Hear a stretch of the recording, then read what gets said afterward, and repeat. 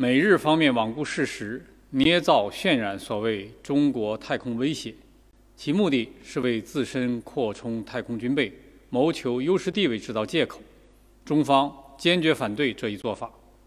事实上，美国近年来以冷战思维持续推进太空军事化进程，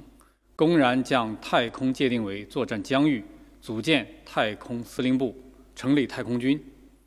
大力研发部署定向能、反卫星通信系统等进攻性太空武器，频繁举行十里服、全球哨兵和太空旗等军事演习。作为拥有卫星数量最多的国家，美国密集发射包括军事侦察卫星在内的各类卫星。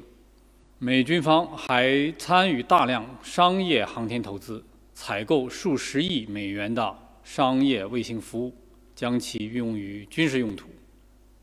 同时，美方长期消极抵制太空军控进程，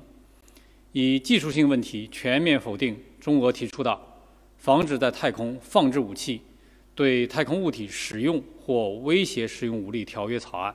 甚至独家阻挡联合国防止外层空间军备竞赛问题政府专家组通过报告，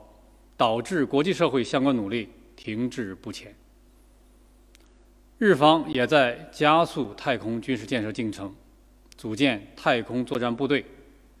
上述举动导致太空武器化和太空军备竞赛风险上升。对全球战略稳定产生负面影响，